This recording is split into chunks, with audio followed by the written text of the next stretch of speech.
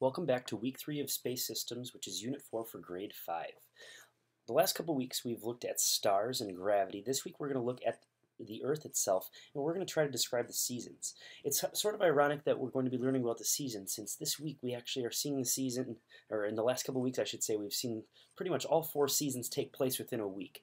Uh, that being said, those aren't really the seasons. They just look and feel like the seasons for a very short period of time.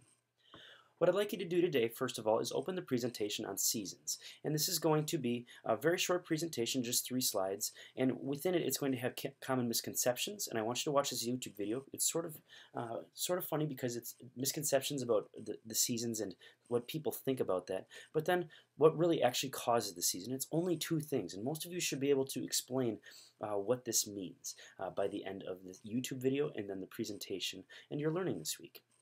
The second thing I want you to do is I want you to uh, log into Discovery Education and you're going to watch the video to the right and it's on the different seasons. It's very short, about three minutes long, um, so it shouldn't take too long.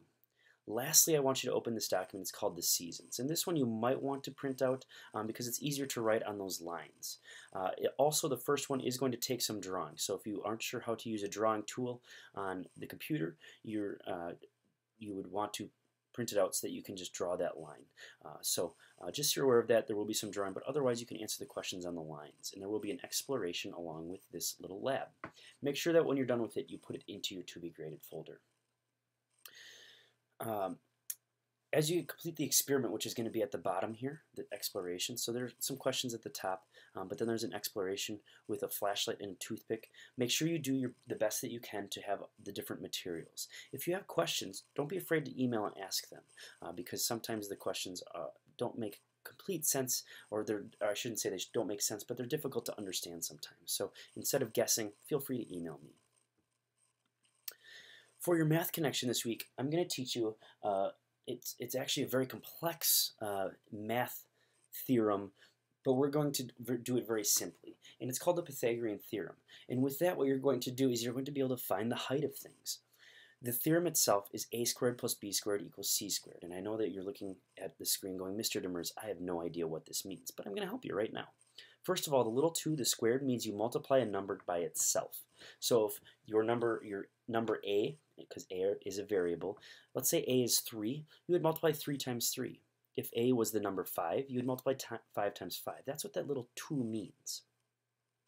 So what I want you to do is think about different shadow lengths. And I know you're not probably going to be able to use your own, so we're going to have a, a, a practice question here. So A, if we look at this, would be the length of a shadow. B would be your height or the height of the person that you're measuring. So uh, we're trying to find um, the length of the object to the, the top of the object to the end of the shadow. Uh, so with this, like I said, it sounds very complex, but you should be able to complete it pretty, pretty well. So then what I want you to do is answer this question on your Math Connections Unit 4 document. If, if, the, if Tom's shadow is 3 feet long and he is 4 feet tall, how far is the distance from the top of his head to the end of the shadow? So for this, you're going to fill in the blanks. So A would be 3, so 3 times 3. B would be 4, so 4 times 4. Then you add that together, and you find out what the square root of that is. So when you add these two numbers together, you're going to get another number, and then you're going to try to figure out what number could be multiplied times itself to get that number. And I'll give you a hint. It is a whole number, so it shouldn't be too hard for you to figure out. And once you see the number, I think you'll figure it out pretty easily. Lastly, for your literacy connection this week, open your Stellar Poetry, uh, Google document and you're going to be writing a sonnet poem. And a sonnet has rhyme to it. So uh, an example, example, I'll just read a couple lines of this one and you'll be able to hear the rhyme. Scribbler, oh what a joy you can find here. Eric is the one that heads the great team, full of poems, stories, and happy cheer. Hopefully it will make our readers gleam. So if you take a look, the first and third line rhyme and the second and fourth rhyme.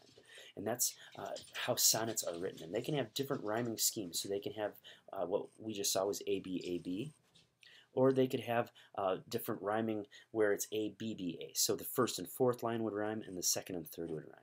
So just you're aware of that, but this is going to be a rhyming poem. You can write about all the seasons, or if you'd rather pick one of the seasons, that would work too. So again, if you want to pick out your favorite one, that would be great.